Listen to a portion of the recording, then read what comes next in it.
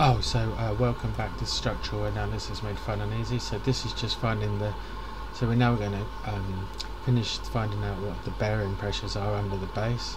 So P min on P max is given by RV over B, but there's another video, there's two more videos maybe. There's one going to be on the wall sliding friction for the base and because RV is also equal to RR in my opinion, it's not labelled properly. RV should equal RR and say because here P equals RV over B.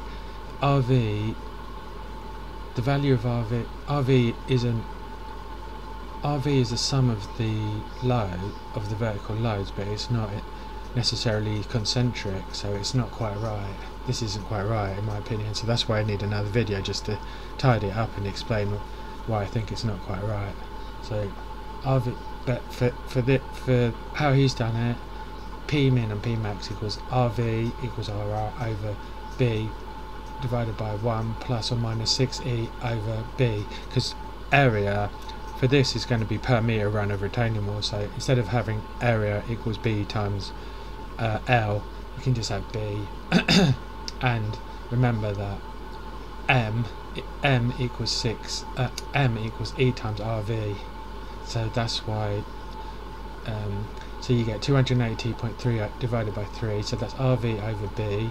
So P, P max P min is 282.3 over 3 times 1 plus or minus 6 times 0.36 over 3 remember that 368 was the uh, eccentricity. That's not the lever arm. The eccentricity is the lever the eccentricity is a is a separate lever arm from the center line not from the corner of the base. Since 368 is less than 500, that means the again uh, the base is stable because it's within the middle third on the left hand side. And so anywhere on the right hand side is okay.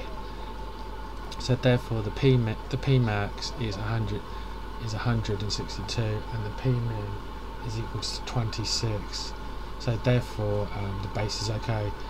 You, so the, as long as you've got say bearing capacity of 200 kilonewtons per meter and um, that might be in sand oh yeah I guess it would be sand and gravel. Not necessarily clay because um, the pressures the as we were looking for the lateral pressures seem to more towards it being in gravel and sand rather than clay so um, so uh, the maximum pressure is 162 so as long as you had bearing capacity of 200 that would be say okay. And the minimum is 26 kilonewton per meter square per per run. So that means there's no up, uplift and that means that the ba the base is stable and so the moment is not enough to tip it over basically. Um, so please come back to watch the other next videos where I'm just going to clarify that thing about what RV is because in my opinion his RV it's not quite right. It should be different and um, uh, um, uh, yeah please like and subscribe to the channel. Uh, thanks for watching. See you in the next vid. Yo. See you in the next video